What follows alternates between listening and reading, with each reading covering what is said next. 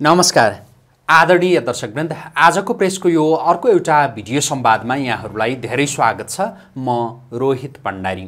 दर्शकवृन्द सरकारको नेतृत्व गरिरहेको दल नेकपा एमाले र काठमाडौँ महानगरपालिकाका मेयर बालन शाह बीचको दूरी झन झन बढ्दो छ। आज मात्रै पनि काठमाडौँ महानगरपालिकाका मेयर बालन शाहले सामाजिक सञ्जाल फेसबुकमा नेकपा एमालेका नेताहरूप्रति असन्तुष्टि व्यक्त गर्दै एउटा लामो स्टाटस लेख्नु भएको छ।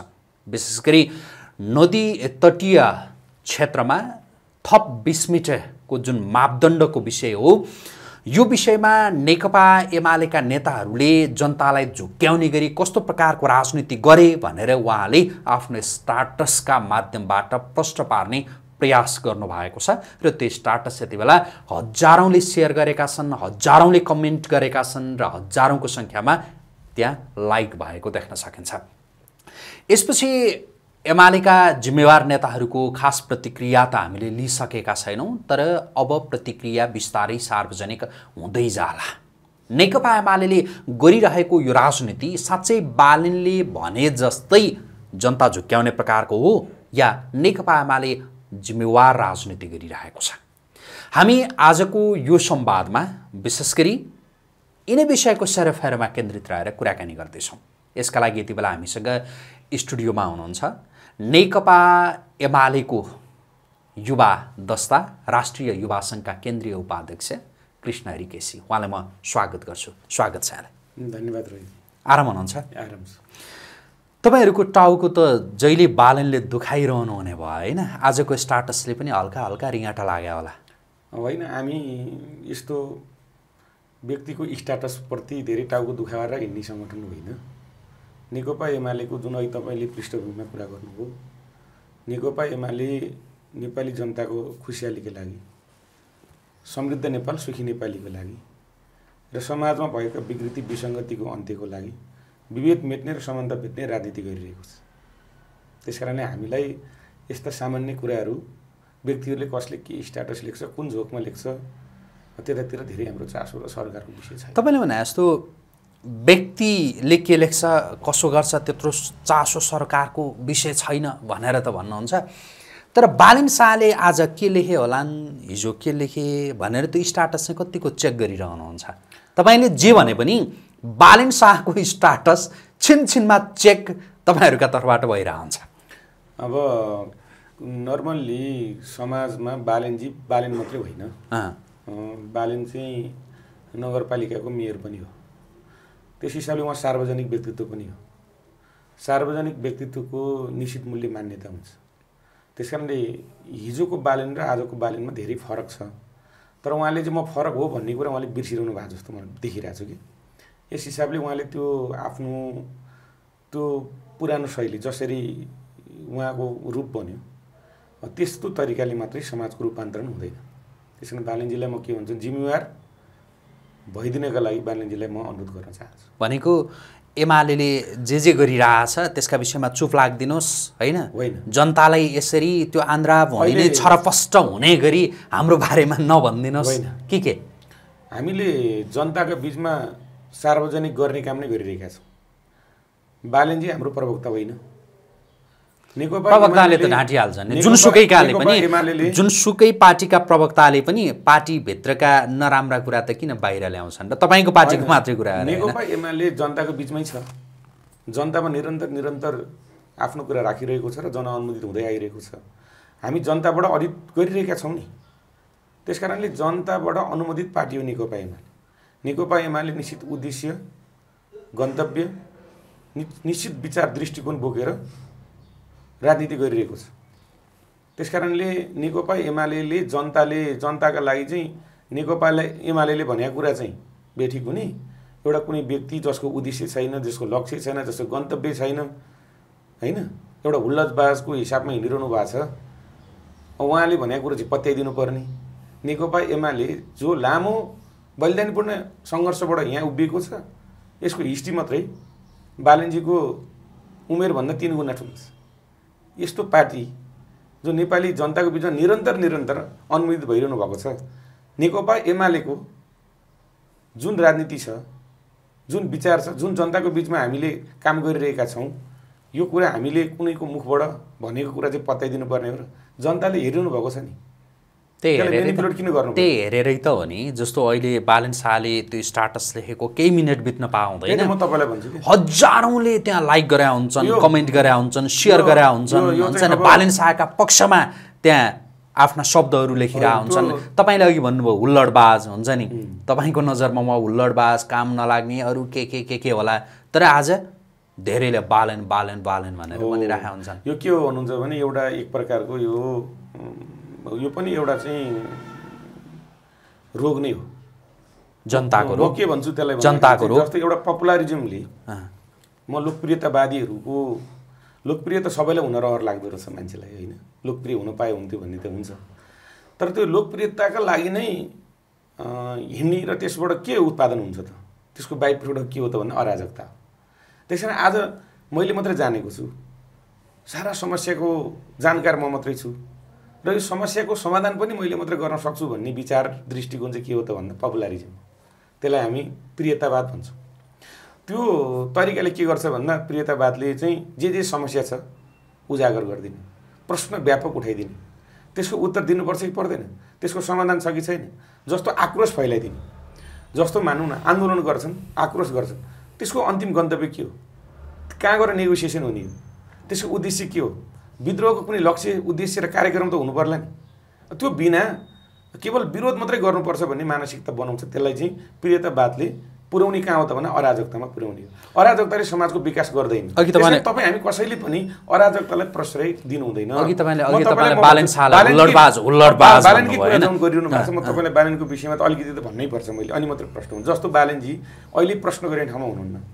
बालनजी म विनम्रतापूर्वक यहाँबाट फेरि अनुरोध गर्छु कि बालनजीलाई योभन्दा अगाडि पनि मैले तपाईँ उहाँले जित्दा त हामीले शुभकामना दिएका हुन्। बालनजीले अझ राम्रो गर्नुहोस् भनेर हामीले सबभन्दा बढी बालनजीलाई केपी ओलीले नै बालनजीलाई घरमा बोलाएर उहाँ सङ्गीत प्रेमी पनि हो उहाँ कलाकार पनि हो भनेर उहाँलाई चाहिँ मादल दिने ड्रम सेट दिने काम त केपी ओलीले गर्नुभएको हो नि दिनुभयो नि। यस हिसाबले म के भन्न खोजेँ तपाईँलाई भन्दाखेरि चाहिँ बालनजीको शुभचिन्तक पनि हो हामी उहाँलाई सहयोग गर्नका लागि हामीले हिजो महानगरपालिकामा फोहोर जम्दाखेरि महानगरपालिकाको फोहोरलाई सबभन्दा छिटो सहजीकरण गर्नुपर्छ भनेर तेह्र तेह्र दिनसम्म राष्ट्रिय युवा सङ्घ नेपालले सडकमा उर्लेर ओत्रेर हामीले के गर्यौँ? फोहोर व्यवस्थापन गऱ्यौँ नि त आज बालनजीलाई म के भन्छु नि उहाँले निर्वाचन पूर्व के भनेर जित्नु भएको थियो? उहाँको प्रतिबद्धताहरू थिए। अट्ठाइस बुधे उहाँको प्रतिबद्धता थिए। आज उहाँ प्रश्नै प्रश्न गर्ने ठाउँमा हुनुहुन्न के? महानगरको कार्यपालिका व्यवस्थापालिका न्यायपालिका तिनटै निकायको प्रमुखको हैसियतमा बालनजी अहिले महानगरपालिकाभित्र हुनुहुन्छ। नेपालको सबभन्दा ठुलो महानगरपालिका। यो काठमाडौँ सारा नेपाली जनताको केन्द्र हो। यस हिसाबले काठमाडौँ कस्तो भयो भनेर उनीहरूले हेरिरहन्छन्। आज काठमाडौँ उहाँले अट्ठाइसभन्दा जे प्रतिबद्धता व्यक्त गर्नुभएको छ त्यो पुरा भएको छ त। जस्तो उहाँले एउटा यति राम्रो योजना ल्याउनु भएको थियो धेरैले एम्बुलेन्स ल्याए।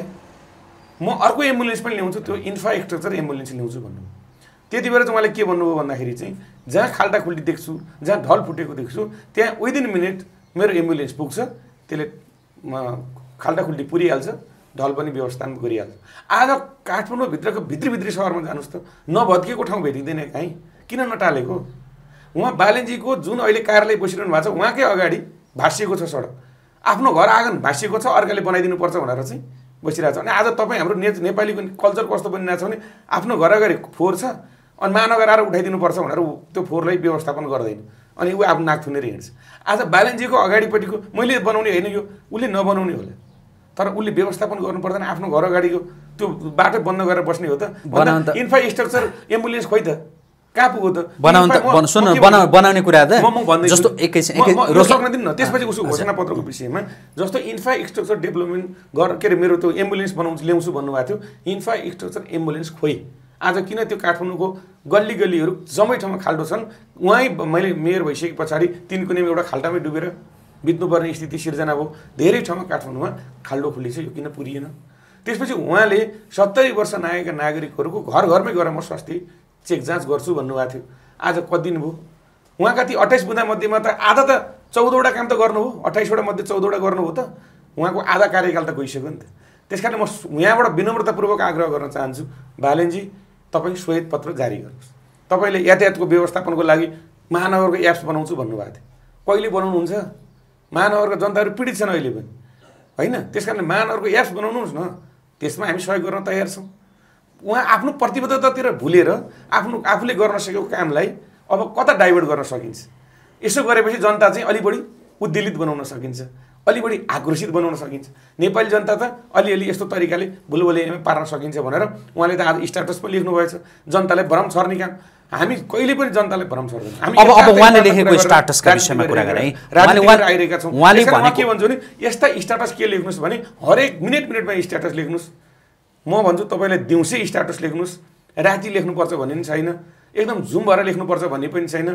फ्रेस मुडमै लेख्नुहोस् तर म ब्यालेन्जीलाई अनुरोध के गर्न चाहन्छु भने मैले यति काम गरेँ मेरा अट्ठाइस बुँदे प्रतिबद्धतामध्ये यति प्रतिबद्धता पुरा गरेँ। अब जनता म यसो गर्दैछु भनेर उहाँले सपना बाँड्नुहोस् निराशा नबाँड्नुहोस् निराशाले समाजको प्रगति गर्छ। उहाँले आज लेखेको स्टाटस पढ्नुभयो तपाईँले पनि? पढिरहेको छु। पढ्नुभयो। उहाँले त्यहाँ गलत के चाहिँ लेख्नुभयो त्यो भनिदिनुहोस् तपाईँलाई। जस्तो के हो जस्तो त्यो खोला नदी जुन तटीय जो क्षेत्र हुन्छ त्यसमा थप बिस मेटेको मापदण्डको जो विषय आएको छ त्यो कहिले आयो भन्ने विषय उहाँले लेख्नु भएको छ। अनि सुन्नुहोस् सरकारको एकैछिन है सरकारको नेतृत्व सरकारको नेतृत्व कसले गरेको बेलामा बागमतीको मुख्यमन्त्री को भएको बेलामा काठमाडौँ महानगरको मेयरको त्यति बेला को थियो यी यस्ता धेरै कुरा उहाँले त्यहाँ उल्लेख गर्नुभएको छ होइन? त्यो के गलत हो? त्यहाँ उहाँले लेखेको कुरा त्यहाँ के गलत छ? के के तपाईँलाई एउटा कुरा बताइदिउँ। उहाँ कस्तो मान्छे हुनुहुँदो रहेछ भन्ने कुरा चाहिँ त्यो उहाँको स्ट्याटसले बताउँछ। पहिला एकचोटि के गर्नुभयो मेरो स्ट्याटस चाहिँ नेकपा एमाले सरकारले हटाइदियो भन्नुभयो। पछि जस्ताको तस्तै उहाँले फेरि रिपोस्ट गर्नुभयो। त्यो भनेको के देखिन्छ भन्दाखेरि चाहिँ उहाँले लिमि गरेर राख्नुभयो पछि त्यसलाई पब्लिक बनाइदिनु भयो गरेको त्यति मात्र रहेछ। अनि उहाँले के भन्दा फेसबुकले नै मेरो आत्म के अरे आत्मालोचना गर्यो। फेसबुकले तपाईँहरूले- तपाईँहरूले रिपोर्ट- तपाईँहरूले। रिपोर्ट गर्नु- रिपोर्ट गर्नुभयो फेसबुकले। मागेपछि चाहिँ मैले अहिले पुनः के गरेँ पोस्ट गरेँ भनेर उहाँले भन्नुभयो। फेसबुकले कहाँ कहाँ खोइ बाहिर सार्वजनिक गर्नुभयो त? त्यो त गर्नु भएको छैन। उहाँले मुखले मात्रै भन्नुभएको छ। प्रमाण त केही छैन।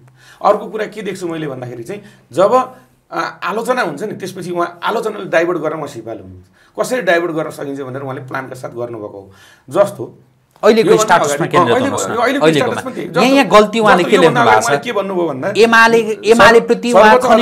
न्यायाधीशले गरेका फैसलाहरूलाई तत्काल कार्यान्वयन गर्नुपर्छ भनेर मेयर स्तरीय निर्णय गरेर उहाँले के गर्नुभयो? पठाउनु भयो।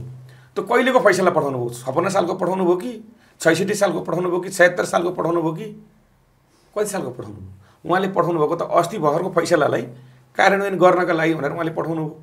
त्यसलाई हामीले फेरि भ्याकेट गर्ने भन्ने कुरा भइरहेको छ कि छैन? चलि त रहेछ नि त। आज तपाईँको यो विषय जनताको विषय हो कि होइन भन्ने कुरा उहाँले जब बुझेपछि ए यहाँ त छ लाख जनताहरू प्रभावित हुने रहेछन् यो कुरा त लागू गर्न नसकिने पो रहेछ क्या हो? भन्ने लागिसके पछाडि उहाँले के भन्नु? यो मलाई मात्रै प्रहार गर्ने भए बालनलाई प्रहार गर्ने भए जनता त बालनको विरुद्ध आउलान् जस्तो छ भनेपछि यो त अलि अगाडिकै हो नि। अहिलेको कहाँ हो र भनेर एक हिसाबले उहाँले त्यो स्टनबाजी भन्छ नि। त्यो स्टनबाजमा रमाउनु भएको हो स्टनबाजतिर उहाँ लाग्नु भएको हो। उहाँलाई म फेरि पनि विनम्रतापूर्वकै भन्छु। यो स्टनबाजको राजनीतिले नेपाली समाजको प्रगतिशील रूपान्तरण सम्भव छैन। छत्तर साउन बिस गते। बुझी। भएको फैसला। उहाँले उहाँले के भन्नुभएको छ भने जुन त्यो यसको पुनरावलोकनका लागि भनेर सरकार साँच्चै सरकारलाई पोलेको थियो पीडा थियो आज एमालेका नेताहरू जसरी भन्छन् नि बालनले यसो 20 गरे मिटर- 20 मिटर धारा बालनले यसो गरे। यसो गरे उसो गरे भनेर जो भनिरहेछन् ती एमालेका नेताहरू हिजोका दिनमा चाहिँ कहाँ थिए? भनेर उहाँले सोध्नु भएको छ। हो। प्रधानमन्त्री केपी शर्मा ओली बागमती प्रदेशको मुख्यमन्त्री डोरमणि पौडेल काठमाडौँ महानगरपालिकाको मेयर लगायत जो जो एमालेका नेताहरूको जे उहाँले नाम लेख्नु भएको छ नि त्यो त हो नि त होइन? त्यति बेला भए। अनि आजसम्म किन चुप लागेको र अहिले किन चाहिँ यो बोल्न थालेको र त्यो पुनरावलोकनका लागि जाने विषयमा हिजोको दिनमा किन जान नसकेको भनेर उहाँले जे सोध्नु भएको छ नि यो त हो नि त। अब यस्तो नि। यसलाई त हो है, बालनले ठिक भने भन्ने चाहिँ तपाईँहरूलाई लाग्दैन? बिस मिटर त अहिले कायमै छ नि। थप बिस मिटरको जो कुरा थप छ। बिस मिटरको कुरा चाहिँ अहिले के गर्यो सरकार केमा जाने भनिरहेको छ पुनरावलोकनको लागि जान खोजिरहेको छ? भएको जनता अहिले त कार्यान्वयन भएको थियो त त्यो। जस्तो अहिले डोजर बोकेर हिँडिरहनु भएको। त्यति बेला- त्यति बेला यो हुनु- सुन्नु न। त्यति बेला छैन फैसला रहेछ? एकैछिन फैसला त अस्ति छहत्तर साउन बिसको उहाँले जुन डेट लेख्नु भएको छ नि। त्यसलाई डाइभर्ट गर्नु जुन डेट लेख्नु भएको छ छत्तर साउन बिसको। त्यति बेला हुन्छ नि। त्यति बेला जस्तो सरकारका तर्फबाट कसले बहस गर्छ? सरकारका तर्फबाट को हुन्छ? उहाँले जो महाधिवक्ता अग्नि खरेलको नाम लेख्नु भएको छ जो एमालेकै तर्फबाट नियुक्त हुनुहुन्थ्यो होइन? भने सरकारले त्यति बेला त्यति बेलै ओली नेतृत्वको सरकार थप विस्मृतिका पक्षमा लागेर यो भाव हो यो भाव हो बहस त्यसरी भयो र पक्ष र विपक्षको सुनियो अनि सुनिसकेपछि अदालतले त फैसला गरिदियो। यसमा कहिले एउटा बोली कहिले एउटा बोली गर्ने एमालेका नेताहरूले भनेर? भन्नुभएको छ तपाईँ म के भन्छु भन्दाखेरि चाहिँ उहाँले शक्ति पृथकीकरणको सिद्धान्त बुझ्नुभएकै होला। हामी के चाहन्छौँ? स्वतन्त्र न्यायपालिका छ नेपालको होइन? न्यायपालिका सरकारबाट प्रभावित हुन्छ। न्यायपालिकामाथि यो ढङ्गको प्रश्न पनि हामीले गर्नु हुँदैन। यसरी त्यति बेला- त्यति बेला त्यति बेला यो सरकारका तर्फबाट जुन यो थप पक्षमा त बहस त भयो नि त होइन? हाम्रा सरकारले त हुनुपर्छ भनेर भन्यो नि त होइन? सरकारले त्यति बेला। सरकारले जुन निर्णयहरू गरेका छन् नि सरकारका निर्णयहरूमाथि पनि कसले पुनरावलोकन गर्छ? यो गर्नु यो यो चाहिँ नियमसँग छैन भने कसले भन्छ? अदालतले भन्छ। त्यस कारण अदालतमा के हो त भन्नुहुन्छ भने हाम्रा इन्स्टिट्युसनहरूमाथि अनास्था फैलाउने गरी पनि हामीले धेरै अविश्वास पनि समाजमा प्रकट गर्नु हुँदैन। त्यति बेला कार्यान्वयनको चरणमा त्यो थिएन। जब बालेनजीले अस्ति एउटा चिठी लेखिदिनु भयो है यो कार्यान्वयन गर्ने भनेर अभियानको साथ हिँड्नुभयो त्यसपछि महानगरपालिकामा चाहिँ नि त्यसको विषयमा चाहिँ लामो छलफल भयो। उपमेयरले पनि त्यो विषयमा राम्रैसँग राख्नुभएको छ तपाईँहरूले नि प्रकाशित गर्नुभएको छ। त्यस पछाडि यो के हो भन्दाखेरि चाहिँ यहाँबाट प्रभावित कति छ? जस्तो आज हाम्रो यो विकास त तपाईँ हामीले यस्तो नयाँ कोर्स छलफल गरौँ न सर। हामीले के गरौँ भन्दा यो काठमाडौँ जस्तो असन अहिले स्मार्ट सिटी बनाउँछु भन्न असनलाई सम्भव छ त? अब यसलाई सांस्कृतिक सिटीको रूपमा राखौँ न। यसलाई अब हामीले के गरौँ भन्दाखेरि चाहिँ हाम्रो पुरातात्विक सांस्कृतिक सिटीको रूपमा यसलाई संरक्षण गरौँ। होइन त्यो थप पक्षमा हिजोका दिनमा। हिजोका दिनमा दलिल गर्ने। हिजोका दिनमा हुनैपर्छ भन्ने नेकपा एमालेका नेताहरू अब म तपाईँलाई भनेर उहाँले भन्नुभएको छ। होइन, अनि। उहाँले के बुझाइदिनु भएको छ? म तपाईँले प्रश्न पारेर पछि त अर्को सरकारले त्यही बहस गर्यो। सरकार त्यसैका पक्षमा लाग्यो। सरकारले आफ्ना तर्फबाट बहस गर्यो भनेर भने, भनिरहनु भएको छ कि? केपी ओली प्रधानमन्त्री भएपछि चाहिँ यो आकाशबाट जोडले पानी पऱ्यो भने पनि केपी ओलीकै कारणले पऱ्यो भनेर उहाँले अहिले स्ट्याटस लेख्न बेर्लाउनुहुन्न। यो कुरा छोडिदिउँ। उहाँको पछि लागेर मात्रै हामी समस्या समाधान हुँदैन। हामी के गर्ने हो भन्दाखेरि चाहिँ हामी नेपालमा केही रूपान्तरण गर्न खोजिरहेका छौँ। नेपालको यो स्थितिबाट उन्नत स्तरको स्थ- स्थितिमा नेपाललाई पुर्याउन गइरहेका छौँ भने अब हामीले गर्ने काम के के हो त भनेर हामीले छलफल गरौँ। त्यसका लागि त्यसका लागि उहाँको उहाँको भनाइ के?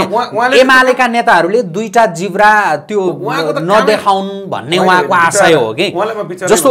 उहाँलाई म के भन्छु भन्दाखेरि चाहिँ योभन्दा उहाँको विषयमा धेरै हामी अलमलिनु पर्छ मलाई अघि प्रश्न एमाले नेताहरूको दुई जिब्रा त हो दुई जिब्रा त हो। आफैले आफ्नो श्वेत पत्र जारी गर्नु दुई जिब्रा त भएको हो कसरी भयो? त्यही त्यो- स्टाटसलाई एकपल्ट पढ्नुहोस् त त्यो- नभए म पढिदिन्छु राम्रोसँग। तपाईँले म के भन्छु भने मैले त्यो स्ट्याटस पनि पढेको छु।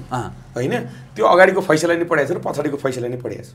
अहिले पछाडिचोटि किन फैसला गर्नु पऱ्यो त भन्दा अगाडिको क्रियान्वयन नभएको कारणले गर्दा पछाडि अदालतले फैसला गर्नु पऱ्यो होला। नत्र अस्ति दुईवटा न्यायाधीशले गरेको फैसलालाई नै कार्यान्वयन गर्नलाई बालेजीले चिठी लेख्नु भयो होला नि। यो कुरा सत्य हो। त्यस हिसाबले म तपाईँले के भन्छ यो प्रभावित भएर गरेका निर्णयहरूप्रति म केही भन्नु छैन। अब म गर्ने चाहिँ कुरा के हो भन्दा जसरी यसरी पुरानो सहरहरू भत्काएर मात्रै सहर बनाउन सकिँदैन भने अब हामीले के गर्ने भन्दा नयाँ नयाँ सिटीहरू बनाउने होला। अब हामीले हिजो हाम्रो कस्तो चलन थियो भने जहाँ यो काठमाडौँको विकास भने पहिला जनताको जमिन जमिनमा हामीले बाटो लगायो अनि जमिनमा हामीले ढल हालेको उसकै जमिनमा हाल्यो हो नि त। त्यसपछि अनि के भने पहिला पाँच फिट माग्यौँ त्यसपछि उनीहरूको फेरि अर्को दस फिट बनायौँ अर्को फेरि उसले बिस फिट बनायौँ बिस फिटमा उसले गएर अब चालिस फिट बनाउँला। यस हिसाबले के छ भने यो विकासको मोडललाई पनि हामीले रूपान्तरण गर्नुपर्छ एक त्यो रूपान्तरण गर्नलाई के गर्नुपर्छ भन्दा राज्य चाहिँ कस्तो हुनु पऱ्यो भन्दा राज्य कल्याणकारी हुनु पऱ्यो राज्य परोपकारी हुनु पऱ्यो राज्य उत्तरदायी हुनु पऱ्यो जस्तो राज्य मेरो अभिभावक हो म केही नहुने जनताको पेट पालिदिने जिम्मा पनि राज्यले लिन सक्छ भन्ने बनेपछि जनताले के भन्छन् भने खास मूल्य मान्यतामा आइपुगिन्छ। जस्तो कहाँ पुग्छ हाम्रो भन्दाखेरि चाहिँ अहिले हाम्रो सम्पत्तिकै व्याख्यामा नि यो अहिले तपाईँ हाम्रो जसको जग्गा छ त्यो जग्गाको कर तिर्छौँ त भूमि कर तिर्छौँ त हामी। लाल पूर्जाको पनि हामी कर कर तिरिरहेको हुन्छौँ भने त्यो राज्यलाई भाडा बुझाएको हो नि त हामीले। यो सिङ्गो जमिन कसको हो त भन्दा राज्यको हो भन्दाखेरि यो मेरो हो भनेर हामी लडाइँ लडिरहेको छौँ होइन? राज्यले कति वर्ष लिजमा दिने हो? यति वर्ष लिजमा हो भनेर राज्यले भन्न सकेको छ त अहिले भन्दा। यो किनभने राज्य कल्याणकारी राज्य परोपकारी राज्य उत्तरदायी नबन्दाको कारणले राज्यप्रति पनि जनताको अनास्था छ अविश्वास छ। यस कारणले के भयो भन्नुहुन्छ भने यो जमिन मेरो यो जमिन मेरो भनेर हामीले सम्पत्तिमा त्यस्तो लागि हस्तान्तरणको पुरै लागिरहेछौँ। यो तरिकाले होइन। अब म त के भन्छु भने विकासको नयाँ मोडलमा बस गरौँ। यो आवास क्षेत्र हो। आवास क्षेत्रमा के के हुनुपर्छ? बाटो हुनु पर्ला बिजुली हुनु पर्ला होइन हो तपाईँले तपाईँले भने जस्तो विकासको नयाँ मोडलका विषयमा बहस त गर्ने होइन। सुन्नु न तर आज एकैछिन आज एउटा भन्छन् नेताहरू अनि फेरि के हुन्छ? जनताले के भन्छन्? कसो गर्छन्? फेरि त्यो बोली यसरी त्यो परिवर्तन गरिदिन्छन् कि? खोजेँ? गर्ने जनतालाई गुमराहमा राख्ने। आज एउटा भन्छन् भोलि एउटा भन्छन् अनि गर्ने- कसरी हो यसमा क्वेसन गरौँ क्या हो यसमा चाहिँ किन विकासका नयाँ मोडलहरूमा छलफल गरौँ? अब आवास क्षेत्र छुट्टै अन्त हिजोका दिनमा थप अनि बिस मिटर भनेर एमाले नै भन्यो भनेर। आइराखेको छ। अब आज आज। के भन्दैछ भने एमाले? होइन भनेर एमाले नै भन्दैछ। अब एकैछिनमा एउटा एकैछिनमा एउटा त्यो त्यो त्यो आग्रहपूर्ण होइन। होइन। म तपाईँलाई त्यो- होइन भन्नुहोस्। अब म होइन त्यो कुरा। म तपाईँलाई के भन्छु भने नि अहिले हामीले विकासका यस्ता मोडलको कुरा चाहिँ गर्नुपर्छ भनेर हामी छलफल गर्ने चरणमा एउटा छौँ। तपाईँ हामी त्यतातिर डिस्कस गरौँ त्यो छत्तर। सुन्नु न छत्तर साउन बिसमा जुन फैसला भयो नि एकैछिन जुन फैसला भयो त्यो लगत्तै ल एमालेकै सरकार थियो। एमाले नि त्यो पुनरावलोकनका लागि किन नआएको त? फैसला भइसकेपछि। चुप लाएर बस्यो हो नि। कुन निर्णय भन्नु जुन त्यो छत्तर चरणमै थिएन कि? कार्यान्वयन छोडिदिनु न कार्यान्वयन त बिस्तारै हुने कुरा होला होइन? जस्तो दोस्रो फैसला सुनाउनु जस्तो। छत्तर बिसमा एकैछिन छत्तर बिसमा फैसला भयो। अनि। एक्काइसबाटै कार्यान्वयन त हाम्रो अब जस्तो भएका सुन्नु न फैसलाको कार्यान्वयन कति वर्षसम्म त गर्दैनन् यहाँ सञ्चालकहरू राज्य सञ्चालकहरू होइन? अब त्यो त बिस्तारै हुँदै थियो होला। तर मैले भनेको चाहिँ के मात्रै भने नि ल अदालतले तपाईँहरूलाई बेठिक लाग्ने प्रकारको जुन फैसला गर्यो होइन? तत्काल सरकार पुनरावलोकनका लागि जान सक्थ्यो नि त। किन गएन भन्ने प्रश्न चाहिँ हो कि? त्यस्तो होइन। बिस मिटर कार्यान्वयन गर्ने कुरालाई सबैले स्वीकार गरेका छन्। जनता पनि त्यसमा असहमति जनाएको छैन। खोलोबाट यता बिस मिटर अर्को साइड बिस मिटर त्यो ठिक छ। त्यतासम्मलाई जनताले अस्वीकार गरेको अन्त थप। 20 मिटर पनि थप 20 होइन, मिटर- हुनु हुँदैन हो, भनेर थप 20 सरकार किन थप 20 पुनरावलोकनका लागि गएन भने 20 के? मिटरको पैसालाई अस्ति भएको हो। त्यो भइसके पछाडि बालेन्जीले कार्यान्वयन गर्न पठाउनु भयो। कार्यान्वयनमा किन यति हतार हो? यो विषयमा पुनरावलोकन गर्नुपर्छ भन्ने विषयमा महानगरपालिकामा छलफल चल्यो। जनताले यो कुरा सचेत भए। होइन बालेन्जीले अस्ति कार्यान्वयनको चिठी छयत्तर सालको चिठी पठाउनु भएको तपाईँ भन्नु न छयत्तर सालको कार्यान्वयन गरे भनेर बालेन्जीले निर्णय गर्नु हो। अदालतको फैसलाको अदालतको फैसला। कहिलेको कार्यान्वयन गर्छु भन्नुभयो? तर विषय त्यही त। विषय अघिल्लो बिस मिटरको हो पछिल्लो बिस मिटरको। उहाँले कार्यान्वयन पठाउनु भयो। यो हिसाबले हामीले के त्यतातिर डाइभर्ट नगरौँ। बरु बालेन्जीलाई नि तपाईँले प्रश्न गर्नु के? के प्रश्न गरौँ भन्दा तपाईँले विकास बजेटको जम्मा जम्मी जेठसम्म तपाईँले कति खर्च गर्नुभयो? सोह्र पर्सेन्ट गर्नुभयो। असारमा पुग्दा तपाईँ उन्तिस पर्सेन्ट पुग्यो। एकै ओभरनाइट एक महिनाभित्र तेह्र पर्सेन्ट बजेट कसरी कार्यान्वयन गर्नुभयो? एउटा थियो। जम्मा जम्मी उन्तिस पर्सेन्टमा बजेट विकास बजेट खर्च गरेपछि काठमाडौँको विकास हुने हो त। यो कुरा बालेन्जीलाई प्रश्न गरौँ न। तपाईँले यो किन कार्यान्वयन गर्न सक्नुहुन्न तपाईँको दक्षतामा प्रश्न उठ्यो। यो कुरा हामीले किन नगर्ने? तपाईँले जुन जुन छा खाममा राम्रो बाटोहरू पनि छन् जुन जुनसम्म सडक पेटी छन् इँटा नौ नौकाइने पुग्ने ठाउँमा उक्काउन थाल्नुभयो। फेरि उक्काएको इँटा हाल्नका लागि एउटा मान्छे व्यक्तिलाई चाहिँ प्रायोजित ढङ्गले तपाईँले इँटामा नै एउटालाई मात्र दिनुभएको छ अरे भन्ने कुरा आएको छ यो कुरा के हो? उहाँलाई प्रश्न गरौँ न। उहाँमाथि धेरै प्रश्नहरू उठिएका छन्। यसको माने उहाँबाट आग्रह राखेर एकदम चाहिँ उहाँको पपुलारिजमबाट चाहिँ उहाँको लोकप्रियताबाट चाहिँ उद्वेलित भएर हामीले प्रश्न गरेको होइन। उहाँको यथार्थमा टेकेर जहिले पनि सत्य भने तथ्यको आधारमा हुन्छ। त्यस कारण बालनजीको उन्तिस पर्सेन्टको वि बजेट विकास खर्च त्यो पुँजीगत खर्च जति भएको छ बालनजीको त्यो जम्मा जम्मा उन्तिस पर्सेन्ट भएको यथार्थ हो नि। हाम्रो विकास खर्चहरू किन राम्रो हुन सकेनन् भनेर हामीले प्रश्न गऱ्यौँ भन्दा साउनको गते बजेट ल्यायौँ। बजेट पास गर्दा गर्दै ढिलो हुने भयो। बजेट पास ढिलो भइसकेपछि हाम्रो चाहिँ टेन्डर प्रक्रिया मङ्सिरबाट सुरु हुने भयो। अनि फागुनतिरबाट चाहिँ हामीले त्यो काम थाल्दाखेरि असारे बजेट धेरै भयो। यो नगरौँ भनेर जेठको पन्ध्र गते हामीले बजेट भाषण गरेको होइन। जेठ जेठको पन्ध्र गतेपछि असारको एक गते त बालेन्जीले भाषण ठोक्नुपर्छ नि। होइन? असार एक गते उहाँले गरेको त्यो क्रियान्वयन चाहिँ आजको दिनसम्म कति टेन्डर प्रक्रियामा लानुभयो? त्यसपछि अब असारमा मात्रै काम गरिने आजको दिनबाट असोजबाट चाहिँ अब बर्खा मास पनि सुरु सकिन् सकिन्छ त्यसपछि हिउँदेमा सुरु हुन्छ। यो बेलाबाट अब विकासको नयाँ प्रक्रिया सुरु गर्ने भनेर अब मेरो पालामा सत्तरी पर्सेन्ट असी पर्सेन्ट वा सेन पर्सेन्ट म विकास खर्च खर्च गर्छु भनेर उहाँ किन नभन्ने? अनि मेरो घोषणापत्र भनेको मेरो गायत्री मन्त्र हो। म जपिरहन्छु। यो जप्ने मात्रै होइन क्रियान्वयन गरिरहन्छु। यसको काउन्टडाउन सुरु भएको छ। अब साढे दुई वर्ष मात्र बाँकी रहेछ। म फेरि सम्झाइदिन चाहन्छु। त्यो अट्ठाइस बुधा तपाईँले कार्यान्वयन गर्नुहोस्। तपाईँको काठमाडौँ महानगरपालिकाको विकास हुन्छ त? अब यो स्टाटसको सन्दर्भमा फेसबुकलाई रिपोर्ट गर्न लाग्ने होला होइन तपाईँहरू? अस्ति एउटा रिपोर्ट गरेर केही दिन त्यो स्टाटस गायब भएर पछि फिर्ता आयो।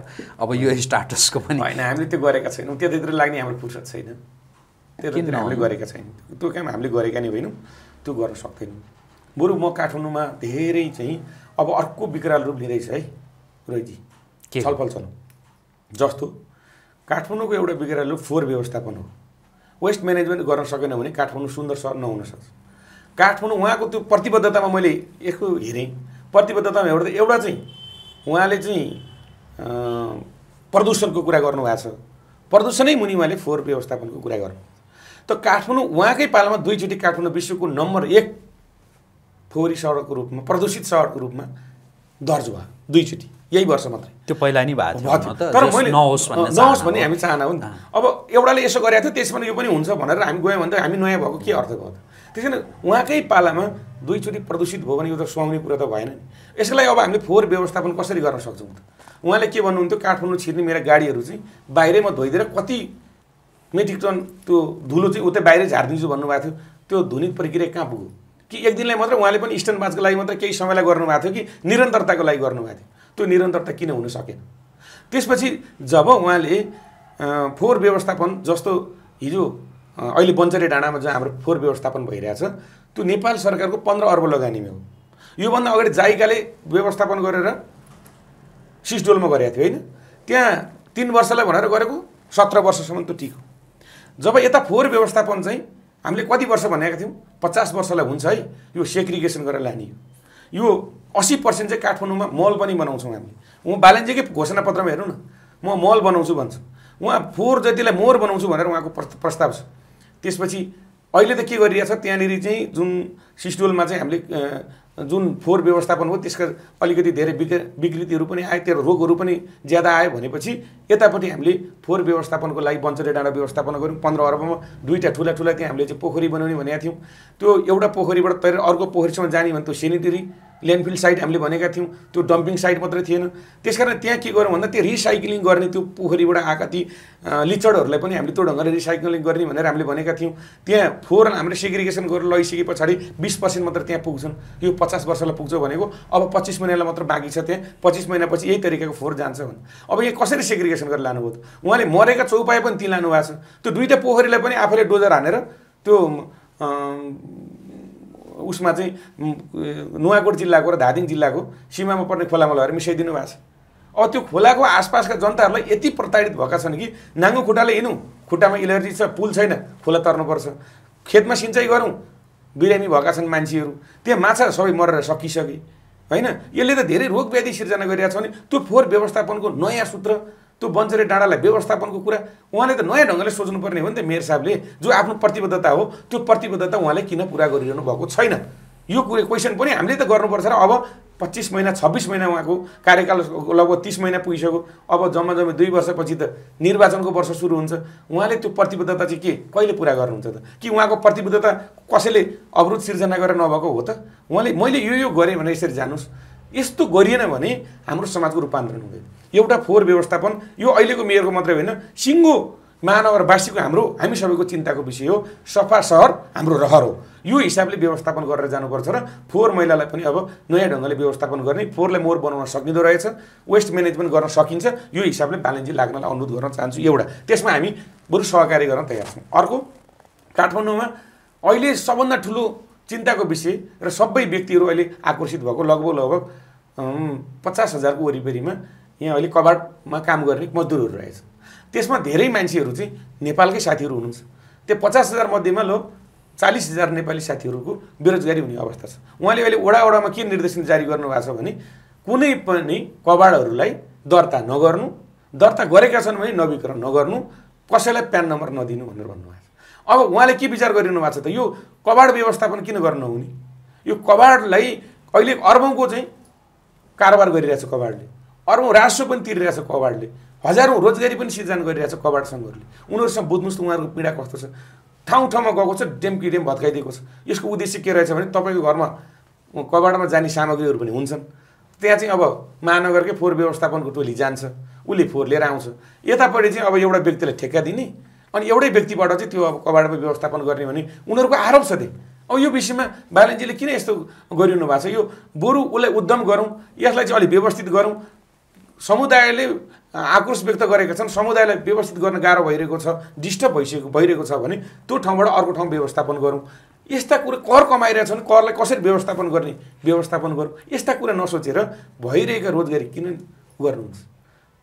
यो हिसाबले अहिले के देखिरहेको छु भने बालेनजीको एउटा सूत्र के छ भन्नुहुन्छ भने भत्काउने निर्माण नगर्ने गरिब कसैले देख्नुभयो भने गरिबलाई लखेट्ने गरिबी निवारणको सूत्र प्रयोग नगर्ने यो काठमाडौँ चाहिँ एउटा सुकिला मुकिला मात्रैको सहर होइन।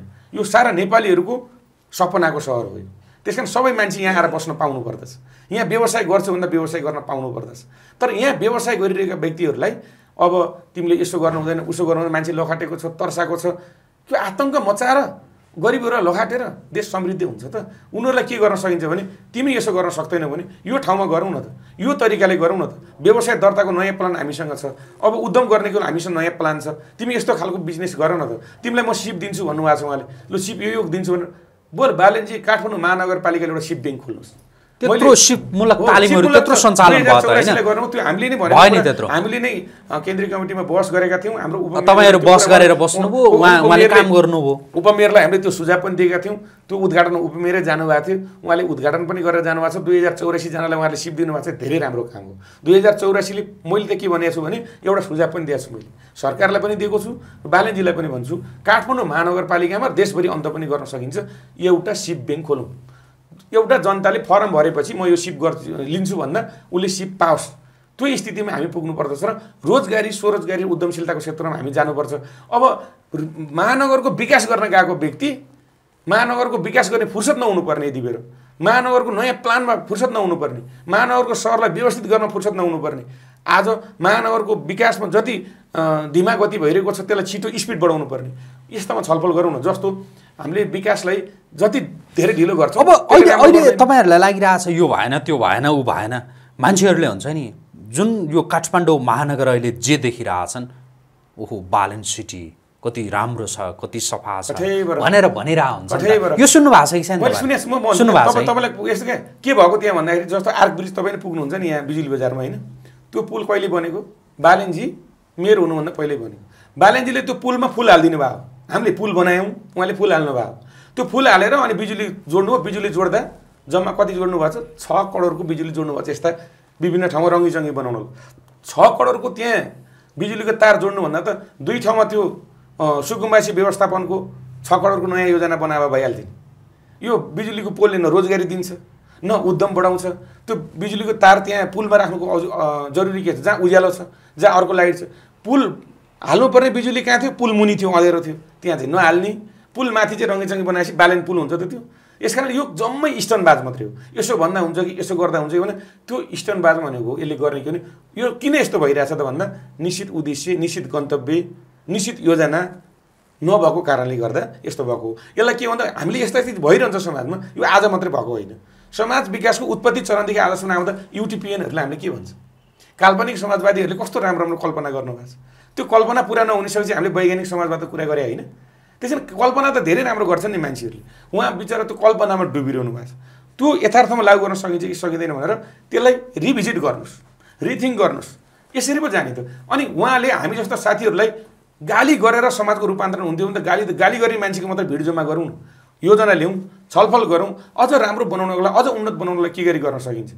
काठमाडौँमा एकदम चाहिँ कबाड व्यवस्थापनको समस्या आइरहेछ आन्दोलित पनि भयो गाली उहाँले उहाँले मात्रै होइन कि जस्तो उहाँकै स्टाटसमा यसो हेर्नुहोस् त कमेन्टहरू हजारौँले गाली तपाईँहरूलाई गरिरहेछन् कि ती सबै नबुझ्ने हुन् र तपाईँहरू मात्रै बुझ्ने हो।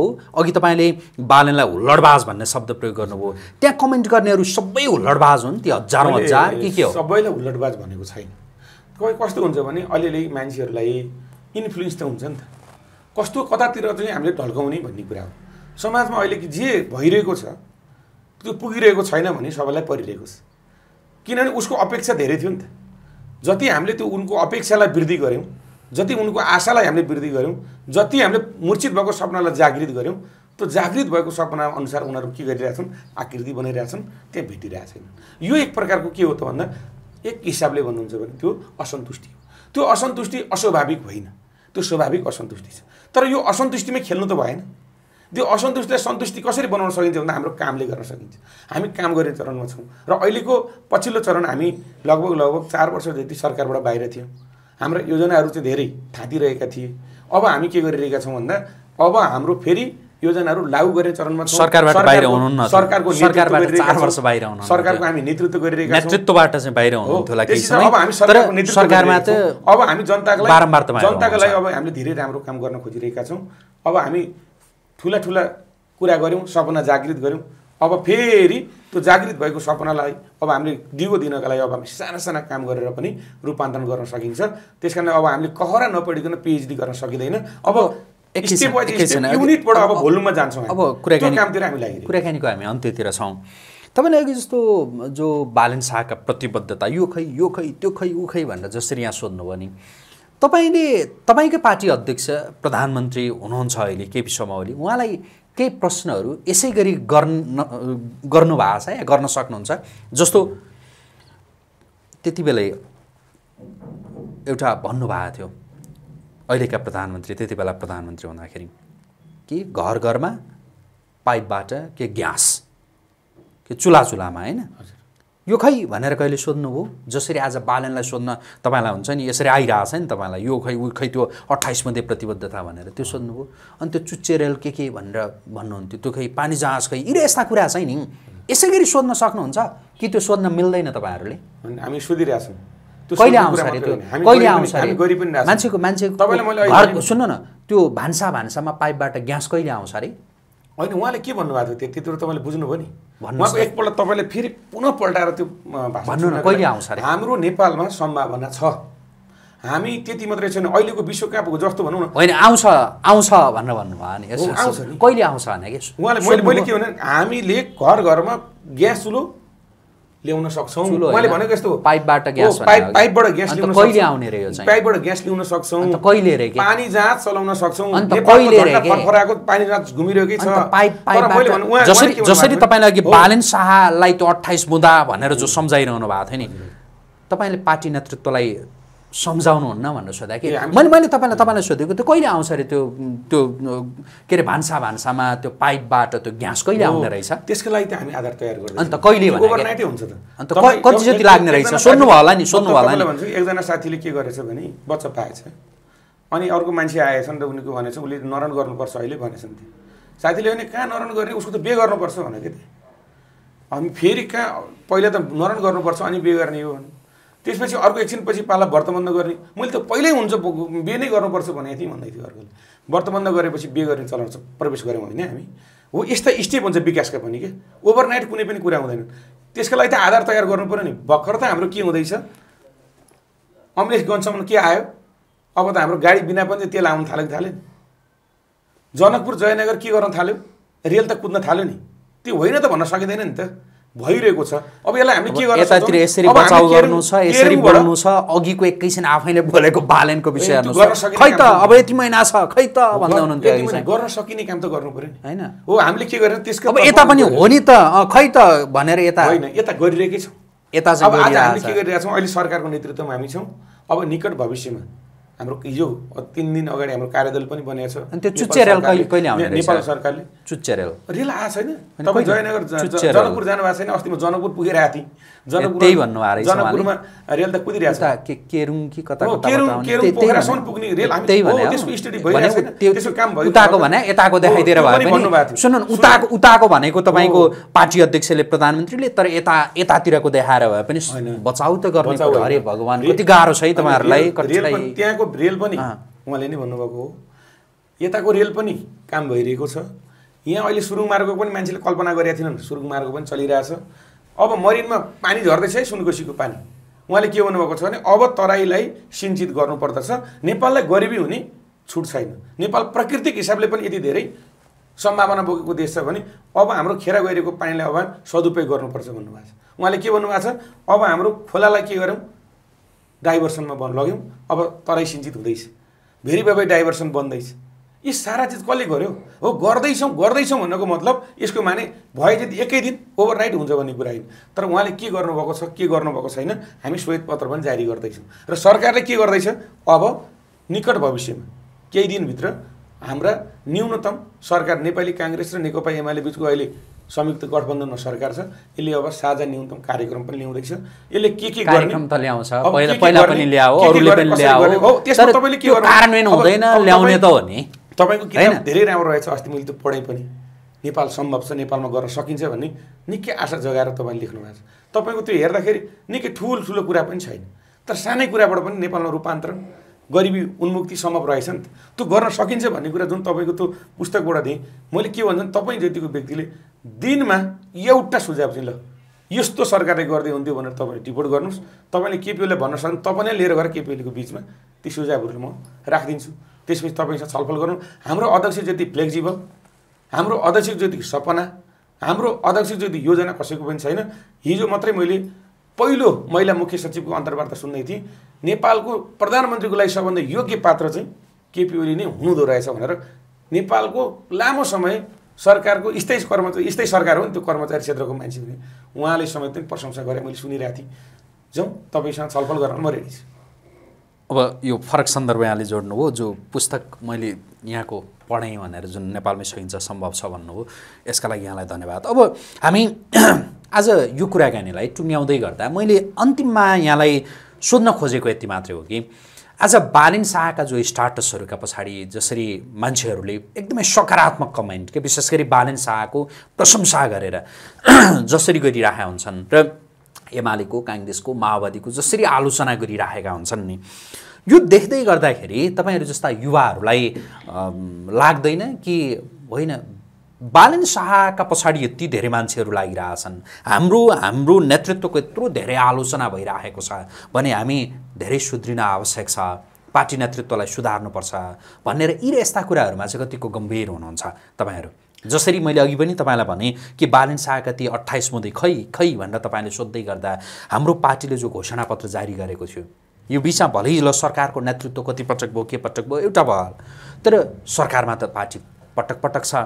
हामीले के के चाहिँ कार्यान्वयन गऱ्यौँ त्यो घोषणापत्र यसो फर्केर हेर्नुपर्छ है। हो। भनेर यो ढङ्गले पनि तपाईँहरू पार्टी नेतृत्वलाई भन्न सक्नुहुन्छ कि सक्नुहुन्न? भनिदिनुहोस् भन्ने मात्रै होइन चाहनु हामी भनिदिने मात्रै नै गरिरहेका छौँ। र नेकपा एमालेको घोषणापत्र हामीले स्थानीय तहको घोषणापत्र जारी गरेका छौँ। हाम्रो प्रदेश तहको घोषणापत्र जारी गरेका छौँ सङ्घको घोषणापत्र हामीले जारी गरेका छौँ। त्यो घोषणापत्र कार्यान्वयनको चरणमा अब हामी प्रवेश गरेका छौँ। र त्यो घोषणापत्रलाई अब हामीले कति कार्यान्वयन गऱ्यौँ कति कार्यान्वयन गर्न सकेनौँ यसको विषयमा पनि जनताको बिचमा फेरि अब हामीले प्रतिबद्धतालाई फेरि ट्याली गरेर लिएर जानुपर्ने छ हामी निरन्तर जनताको बिचमा अडिट गर्न चाहन्छौँ। तपाईँले जे राख्नुभएको छ हामीले त्यो घोषणापत्र बिर्स्यौँ कि भन्ने कुरा छैन। घोषणापत्र हामीले सुविचारित हिसाबले नै त्यो लिएर आएका छौँ र सरकारको अब न्यूनतम साझा कार्यक्रम मार्फत यी यति चाहिँ पुरा गर्न सकिन्छ भनेर अब तपाईँले निकट भविष्यमा छापिदिनुहुन्छ वा तपाईँले प्रसारण गर्ने अवसर पाउनुहुन्छ। हुन्छ सर आजको लागि कुराकानी यति गरौँ। समय दिनुभयो धेरै धन्यवाद यहाँलाई धेरै धन्यवाद छ रोहितजी। अब तपाईँ एउटा नेपालको पत्रकारिता क्षेत्रको एउटा उज्जवल नक्षत्र पनि हो र तपाईँले जुन खोज गरिरहनु भएको छ जुन सोच निर्माण गर्नुभएको छ म कर्ण साकेलाई धेरै फलो गर्थेँ कि। उहाँकोबाट चाहिँ धेरै सिक्नका लागि पनि अभिप्रेरित हुन्थेँ धेरै उद्यमशीलतामा युवालाई कसरी जोड्ने भन्ने विषय पनि सोचिरहेको थिएँ। तपाईँहरू मार्फत अब यस्तो कलम पनि चलाउनु पऱ्यो अब नेपालमा सम्भावना छैन भन्ने कुरा कम प्रसारण गरौँ। नेपालमा सम्भावना छ भन्ने कुरा कम्तीमा पनि तपाईँका ती लेखहरूको एक पृष्ठ चाहिँ दिनमा तपाईँको भोइसबाट पनि जाओस्। त्यो राम्रो लागेको धन्यवाद सर। एकदम धन्यवाद। हस्। आदरणीय दर्शकवृन्द हामी कुराकानी गरिरहेका थियौँ नेकपा एमालेको युवा दस्ता राष्ट्रिय युवा सङ्घका केन्द्रीय उपाध्यक्ष कृष्णहरि केसीसँग। उहाँसँगको यो कुराकानीसँगै आजको प्रेसको भिडियो संवाद अहिलेका लागि यहीँ सकिन्छ। पल पलको अपडेट ताजा बहस र विश्लेषणात्मक टिप्पणीका लागि आजको प्रेस हेर्दै गर्नुहोला। नमस्कार।